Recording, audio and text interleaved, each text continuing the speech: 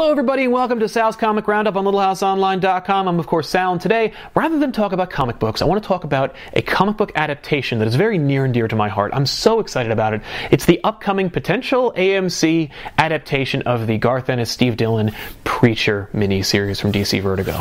I'm so excited that AMC got a chance to bring this series to life. I'm really excited to see what they do with it because AMC seems to be now uh, a seal of quality for television programming that I would never have expected. And I, I, I have no doubt that the, the, direction, the production, the uh, the special effects are going to be spectacular. My question is, who's going to be in it? And so I'm going to share my picks for the cast of the main core characters for the upcoming AMC Preacher series. Obviously, the titular character, the Preacher, the badass preacher with the voice of God at his disposal, who has the cojones to play this badass Texan preacher?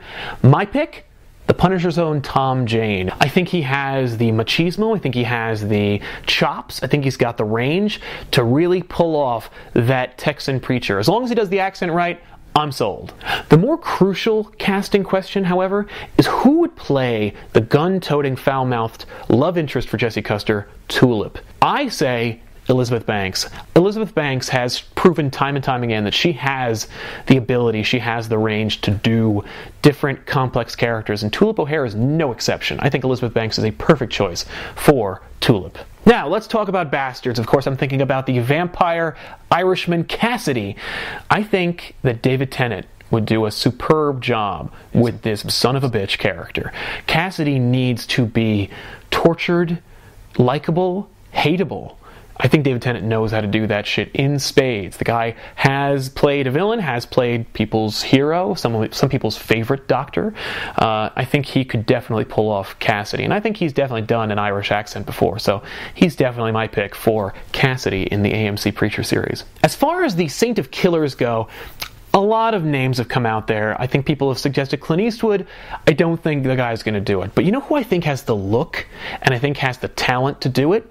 Hot Fuzz, Shaun of the Dead, and Underworld's own Bill Nighy. The guy, I think, looks spot on like the Saint of Killers, and I think he'd do a spectacular job if he can pull off that grizzled, deep Southern accent. And I've seen most Englishmen know how to pull off the Southern accent, especially a lot more than a Midwestern or an East Coast accent. So I think Bill Nighy is my pick for the Saint of Killers. And finally, for the villain, my pick is somebody who has the ability to play a ruthless, miserable son of a bitch. And I can think of no one better than Walter White himself, Mr. Bryan Cranston. I think the guy has the look, and I don't think he's beyond looking like a giant man penis.